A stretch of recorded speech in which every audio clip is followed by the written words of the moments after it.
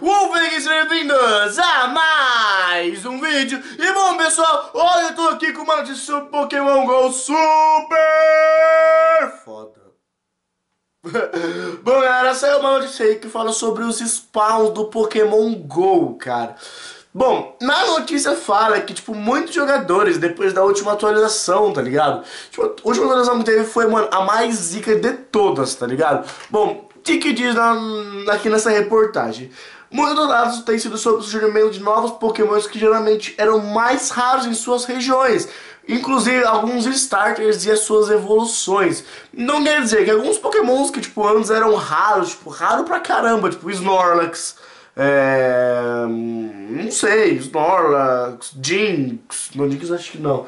Snorlax, Magmar, Electabuzz, é, sabe, esses pokémons mais feras assim, eles eram mais raros de ser encontrados. E depois dessa última atualização, estão falando que eles estão sendo muito fáceis de ser encontrados. Não fáceis, mas tipo assim, tá aparecendo com muito mais frequência, tá ligado? Tipo, já aparecia uma, um Snorlax no mês. Agora tá aparecendo, tipo, todo dia, tá ligado?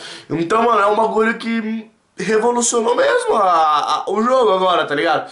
E diz aqui na reportagem que alguns starters e as suas evoluções estão, tipo, mano, muito. Eu vou até abrir um Pokémon GO. Imagina se tem um, um coisa aqui, mano. Eu vou abrir, eu vou deixar abrindo aqui.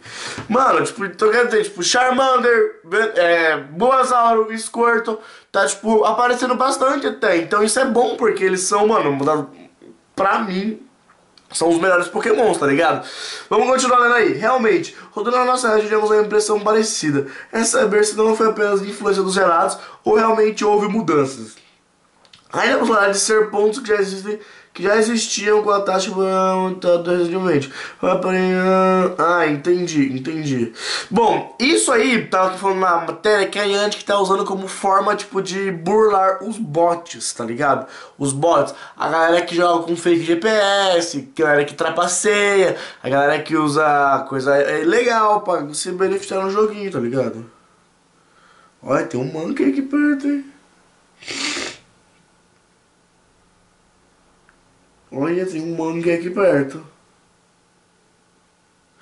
Tem um monkey aqui perto. Nossa. É, não sei se é verdade, né, cara? Já usei todos meus itens também, né? Olha, tem um lure, hein? Eu podia usar o lure ali na frente de casa, hein? Que tipo de pessoa fica usando um lure na frente de casa? Que tipo? Bom, então é isso, né? Então, mano, Basta esperar pra ver se realmente isso é verdade ou não, né? Eu creio que pode ser, mano. Mas é isso, galera. Então, mano, esses palmos estão mais fáceis, digamos assim. Entendeu? Vamos ficar feliz, né, mano? Porque, meu Deus do céu. Então é isso, galera. Eu espero que vocês tenham gostado. Se você gostou, sabe, deixa aquele likezão maroto aí embaixo, aquele favorito, que é muito importante pro vídeo e pro canal. E é isso aí. Aqui mais tem meu Twitter, meu Instagram e meu Snapchat, demorou? Então é isso aí, galera. Um beijo pra vocês, um abraço e tchau.